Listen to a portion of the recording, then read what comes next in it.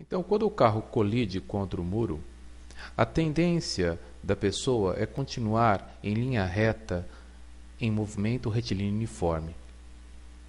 A resultante das forças, no entanto, aplicada pelo airbag, pelo atrito dos pés com o chão, faz com que a pessoa seja frenada. Então, a utilização do cinto de segurança, do airbag em carros, está relacionada com a lei da inércia, ou seja, a pessoa dentro do carro tende a permanecer em movimento retilíneo uniforme, a não ser que algum corpo com ela interaja, fazendo-a frenar. Alternativa correta, alternativa B de bola.